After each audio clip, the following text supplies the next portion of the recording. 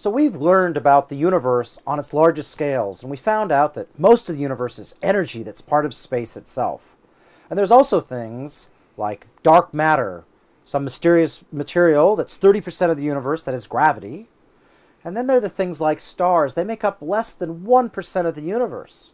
And our planet, which I regard as probably the most important thing in the universe, at least to me, well, the Earth is one millionth of the mass of our sun. And so we have to figure out uh, why something as insignificant as our Earth is uh, really came into uh, being. It's a really challenging question, how something so small can be made out of something so big. Yes, so planets in the overall scheme of the universe are almost irrelevant, but they're important to us because we live on one. In this lesson, we're going to talk about how you turn the primordial gas into the planets and the Sun, the solar system we know the process starts um, with giant molecular clouds and ends up with planets. The overall picture is fairly well understood, but there's a whole bunch of gaps in there, different steps along the route that are very, very obscure. And this is what we're going to highlight as the unsolved mysteries of solar system formation. But anyway, the whole process starts with giant molecular clouds. And giant molecular clouds are some of the uh, building blocks we know of solar systems. And here we see the Trifid Nebula, a place where there's large amounts of hydrogen and helium and dust, and uh, all coming together to form the solar systems of the future. Where do these giant molecular clouds come from? Well, you get gas and stars, some of the stars explode. As they explode, they squirt out enriched gas, as we talked about in the first light in the universe lesson. This gas coalesces to form another generation of stars. Some of these in turn explode, squirting out yet more gas. All the time you've got clouds of primordial gas left over from the Big Bang raining down. So giant molecular clouds are sort of like the, the scum that forms from all these different processes coming on. You've got gas blasting this way, gas blasting that way, gas falling in, swirling around. So it's no surprise these are not nice spherical symmetric shapes. They look pretty chaotic. But they are beautiful. And indeed, some of the prettiest things in the sky, for example, here we see the Orion Nebula, which is one of the nearest places in the sky where this whole process has taken place, where the giant molecular clouds have come together, formed a whole bunch of stars, which you can see here in the center, and presumably lots of systems as well. And Orion is not unique. There's all sorts of interesting things in the sky. This nebula, the Eagle Nebula, is seen with the Hubble Space Telescope, or, for example, the uh, Lagoon Nebula. These are all some of the most interesting things to look at in the sky, and are all sort of the aftermath of this process of making stars and solar systems. So these giant molecular clouds are very tenuous, they're very big, often light years in size. We have to turn them into something like this a sun and a planet. And that's a very difficult challenge because planets, like our own here, are very, very much smaller. This is only a few thousand kilometres across. So you've got to turn something from light years big to only a few thousand kilometres across. You also need to condense the elements. The giant molecular cloud is mostly made of hydrogen and helium, whereas at least the inner planets in our solar system, not, not any hydrogen or helium to be seen there. We're looking at um, silicon, magnesium, oxygen, uh, rocks. There are some planets, like the gas giants Saturn and Jupiter, which are mostly hydrogen and helium.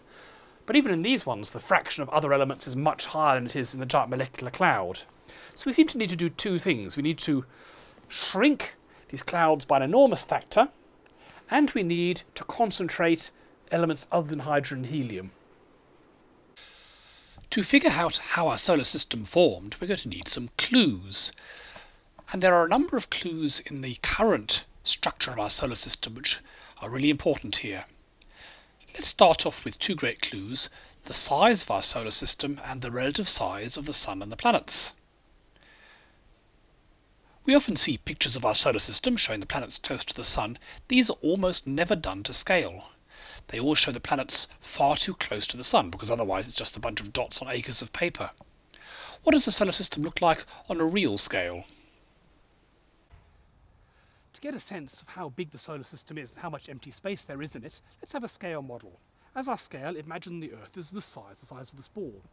To that scale, the moon would be the size of a tennis ball, about 10 metres away. Jupiter would be the size of a major office building on that hill. Pluto would be about twice as far away as this mountain. That's the solar system. To get to the nearest other solar system, Alpha Centauri, you'd have to go 25 times around the world. On the same scale, if the Earth is the size of a basketball, the Sun is the size of a large building. There are some more clues as to how our solar system formed in the orbits of the planets around the Sun. If you just put a whole bunch of random planets in random positions and give them kicks, they will end up probably in orbits like these, some going forwards, some going backwards, and generally very elliptical orbits where they come really close and whip around and then come back out again. Looks like it's going to be a bit of a train wreck over a billion years, Paul. Yes, so this is what you'd get if you just put planets randomly near stars. What we actually see in the solar system is something rather different. This is may look like a perfect circle, but it's actually the path of the Earth around the Sun. It really is almost a perfect circle. So if you put an overlay of a perfect circle, which you can pretty much not even see the difference. Yes, so there's if you just about see this, maybe if you look really hard, there's a perfect circle overlay there, and it really doesn't look very different.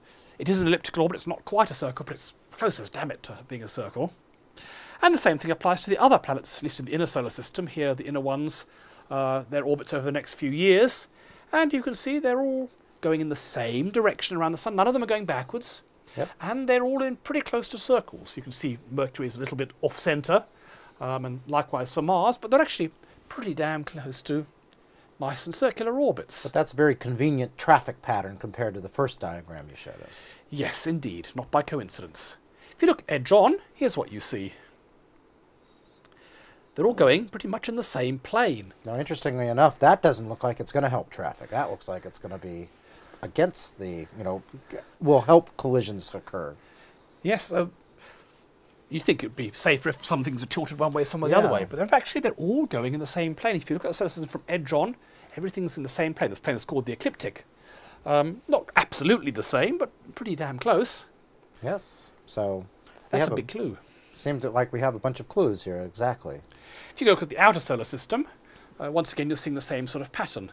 Things are going around in the same direction, pretty much in circular orbits. We're not going to wait here for Neptune to finish, are we? No. Okay. So here are our clues. Virtually all the mass is in the sun. And it's spread out over 10 to the 12 meters, so it has a certain scale. Orbits are pretty damn near circular. And everything's going around in the same direction. and in the same plane, the ecliptic plane. So any theory of solar system formation has to explain these facts.